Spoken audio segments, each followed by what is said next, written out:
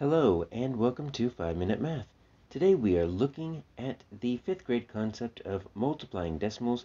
This is standard 5.3e in the great state of Texas and we are using item number 9 off the 2016 released STAAR test. If you have not done so already, please go ahead and take a moment to pause the video, work this problem out on your own, unpause it, and then we will look at our answers together. So Scott drank three and a half or 3.5 bottles of water yesterday, and each bottle contains 1.2 or 1 and 2 tenths pints of water. So we need to figure out what is the number of pints that of water that Scott drank. So we do have each bottle, so that lets us know we're dealing with equal groups. So we've got three and a half bottles of water, right? And so we've got, let me, let me just see if I can draw like these, these bottles of water here. And so we've got one, we've got two here. We're going to end up getting three. Uh, these are looking a little bit more like jugs than bottles, but that's fine. We've got like this half one right here. So here's my three and a half, and each of these contain 1.2, 1.2, 1.2, and then that's the question, right? Half of 1.2? Um, so we could do a little bit of addition if we wanted to. So we could do 1.2, 1.2, 1.2. We can add that up. That's going to be 6, 3.6 plus half of 1.2. So we're going to have to figure out what half of 1.2 is. But if we wanted to, uh, we can also do some multiplication. So let's leave this. We'll come back to this right now. What does it mean when we multiply this 3.5 times the 1.2? Because that's really what we're being asked to do is multiply decimals. Do we have to line up the decimals? Now, in this case, the decimals lined up. But we don't have to multiply uh, by lining up the decimals. You actually multiply decimals by ignoring them when you're doing your multiplication. So right now we're going to just ignore these two right here. And we're going to pretend it's 35 times 12.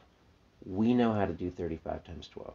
So that's what we're going to do. Let's do 35 times 12. We're going to come back and we are going to mess with those decimals in just a moment. So 35 times 12. So 2 times 5 is going to be 10. And then 2 times 3 is 6. Add that 1 is 7. So first row is 70. We're ignoring the decimals right now. And then 1 times 5 is 5. 1 times 3 is 3. Add them up. You get 0, 12, there we go. 420. Now, we bring back the decimals. Here's the trick with multiplying by decimals. You count the number of digits that are behind the decimals in the factors. So you've got two factors. You've got 3.5 and you have 1.2. How many digits are behind the decimal in 3.5? You've got 1 how many digits are behind the decimal in 1.2, you also have 1. So you have a total of two digits behind the decimal in your factors put together. So you need to make sure that there are a total of two digits in your product. So let's bring it over 1. Let's bring it over twice. So you've got 4.20, which 4.20 also can be 4.2 because we don't really need that 0 at the end.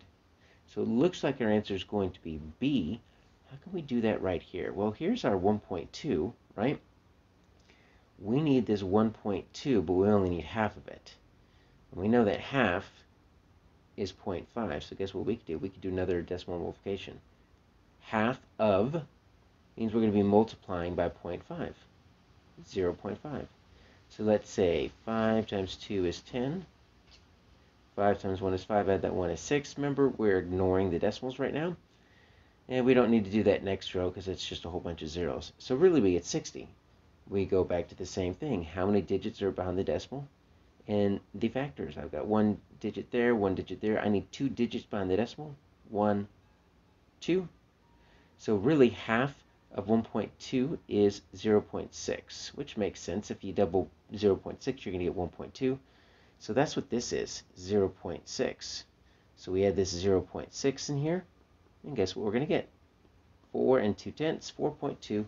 Our answer is B.